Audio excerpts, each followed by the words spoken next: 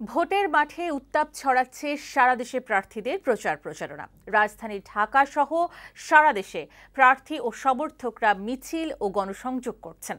নৌকা ও ধানের শীষের প্রার্থীরাই এখন পর্যন্ত বেশি সরব ভোটের মাঠে। উন্নয়নের ধারা ধরে রাখতে নৌকার ভোট চাইছেন আওয়ামী লীগ ও মহাজোটের প্রার্থীরা এবং অন্যদিকে প্রচারণায় বাধা দেওয়ার অভিযোগ তুলে বিএনপি প্রার্থীরা বলছেন, যতই বাধা আসুক নির্বাচন থেকে পিছু হটবেন না তারা। বিউটি সমাদারের প্রতিবেদন দেখুন। দেশ জুড়ে এখন ভোটের হাওয়া। প্রার্থীদের এমন প্রচারণায় এখন সরগরম ভোটের মাঠ। একাদশ জাতীয় সংসদ নির্বাচনে ভোটারদের মন জয় করতে মিছিল, পথসভা করছেন প্রার্থীরা। যার যার প্রতিঘাতে সকাল থেকে হাটবাজার, দোকান, মাঠে ঘাটে ভোটারের কাছে যাচ্ছেন তারা। ঢাকার বিভিন্ন আসনে গণসংযোগে নেমেছে আওয়ামী লীগ ও বিএনপির প্রার্থীরা।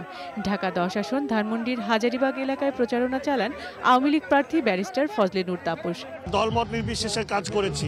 কোনো প্রতিহিংসার কোনো কর্মকাণ্ড আমাদের এলাকায় ঢাকা দশে কোনো সময় হয়নি কোনো নেতৃবৃন্দ বলতেও পারবে না।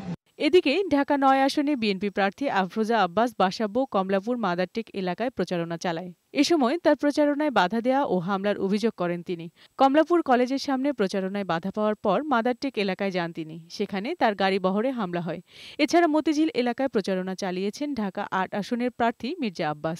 ওদের সহায়তায় ওদের ছত্রছায়ায় ছাত্রলীগের ছেলেপেলে এবং কিছু ছাত্রলীগের মেয়েরা মানে অকথ্য নির্যাতন করেছে। আমরা যুদ্ধের জন্য ময়দানে আসি নাই।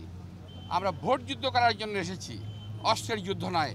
এদিকে নয়াপল্টন বিএনপির কেন্দ্রীয় কার্যালয়ে সংবাদ সম্মেলনে দলের স্থায়ী কমিটির সদস্য মৌদুদ আহমদ অভিযোগ করেন, ধানের শীষের জোয়ার ঠেকাতে হামলা মামলা অব্যাহত রেখেছে সরকার। ঢাকার বাইরেও বিভিন্ন এলাকায় প্রচার প্রচারণা চালাচ্ছে প্রার্থীরা। চট্টগ্রামের চাকতাই এলাকায় খাতুনগঞ্জ থেকে প্রচারণা শুরু করেন চট্টগ্রাম নয় আসনের আওয়ামী লীগ প্রার্থী ব্যারিস্টার মহিবুল হাসান চৌধুরী নওফেল। কর্মী সমর্থকদের সাথে নিয়ে উন্নয়নের ধারা অব্যাহত রাখতে জনগণের কাছে ভোট চান তিনি। চট্টগ্রাম এগারো আসনে বিএনপি প্রার্থী আমির খসরু মোহাম্মদ চৌধুরী জেলার মাদারবাড়ি ও সদরঘাট এলাকায় গণসংযোগ করেন।